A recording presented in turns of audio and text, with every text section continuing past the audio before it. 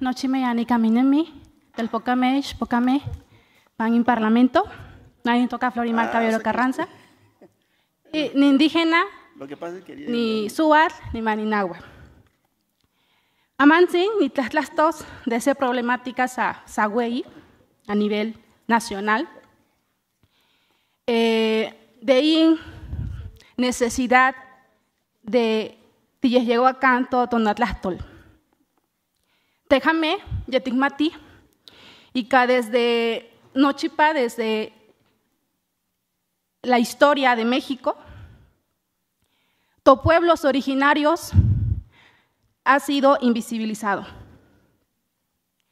Quistua Bonfil Batalla, Titlatlastua de Ome Méxicos. Un México profundo, eh, ya te conformaron a Tajame, que en pueblos originarios, Niman on México, ya on Castizlasme, o Quimentaroski, a costa de despojos, desterritorialización de tu tlastol, de tu cuerpo, de tu identidad. Por eso, Amansin Kamba Tajame Tignemi, Sanoye es importante y esperemos que no, no nos archiven lo que vengamos a decir aquí. Irresponsabilidad Sagüey del Estado. El Estado debe de retomar, de tomar la responsabilidad que ha jugado en la desterritorialización de los pueblos indígenas, no solo de sus lenguas, estamos hablando de todo el conjunto de sus formas de vida, tradiciones, vestimenta, cuerpo, identidad. Eh, antes, antes de que se me quite el tiempo, les voy a decir en español.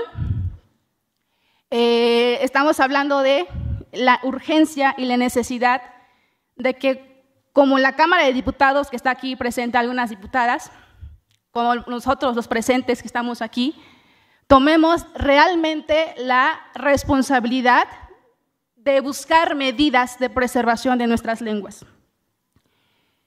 Sabemos que históricamente se, hemos hablado de políticas públicas desde un modelo eurocentrista, desde un modelo que intenta o ha intentado desindianizar al indígena, de que se avergüence y, y prácticamente, lamentablemente, ha sido, pues, de alguna forma logrado.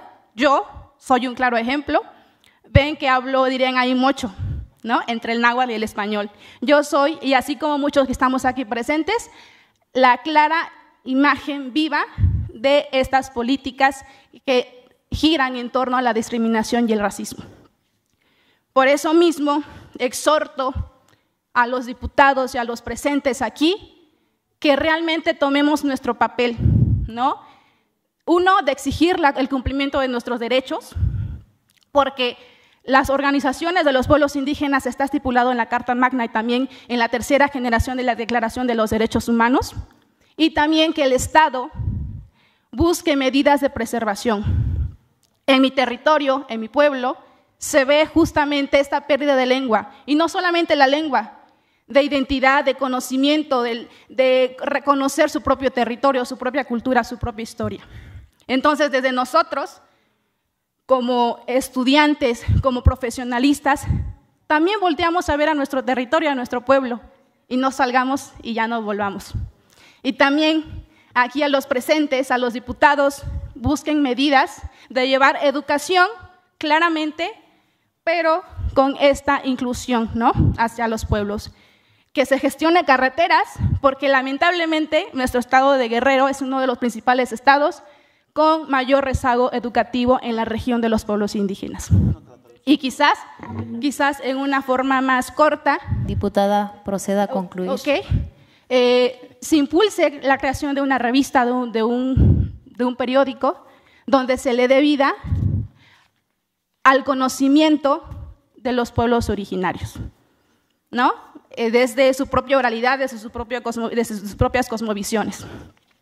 Entonces, antes, bueno, eh, para, de manera de concluir, Espero que realmente se tomen en serio este Parlamento y no solamente clausuren y nos archiven.